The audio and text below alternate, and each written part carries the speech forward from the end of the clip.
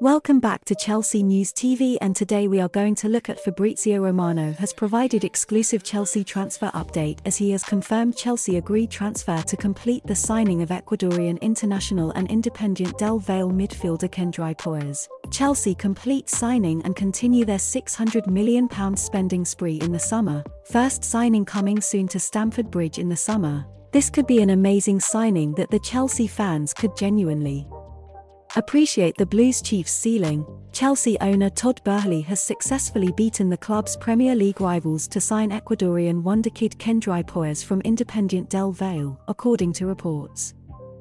The Blues have prioritised the recruitment of young players for the future since they were taken over by Boehly and Clearlake Capital last year, with the likes of David Datro Fofana, Andre Santos, and Gabriel Slonina just some of those to have joined the club over the course of this season. It seems as though Chelsea will be looking to maintain their existing transfer policy into the summer window and beyond, with Boehly working hard behind the scenes to get things lined up before the market opens in June.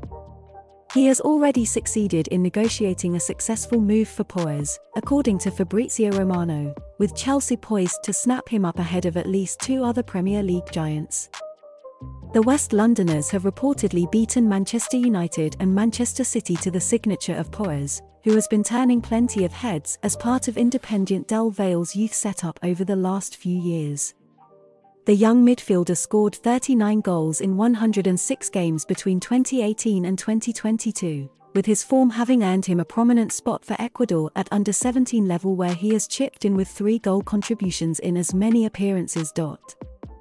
Paez is expected to join Chelsea when he turns 18 in 2026, with the Blues reportedly set to shell out around £17.6 million in exchange for the playmaker's services. He will become the latest teenager to join Chelsea's ranks upon his arrival at Stamford Bridge following earlier deals for Santos and Malo Gusto, who were both snapped up before the end of the January window. It remains to be seen how Paez will fare in the Premier League with the 15-year-old hoping to follow in the footsteps of his countrymen in Moises Caicedo and Pervis Estupiñán by excelling in England's top flight.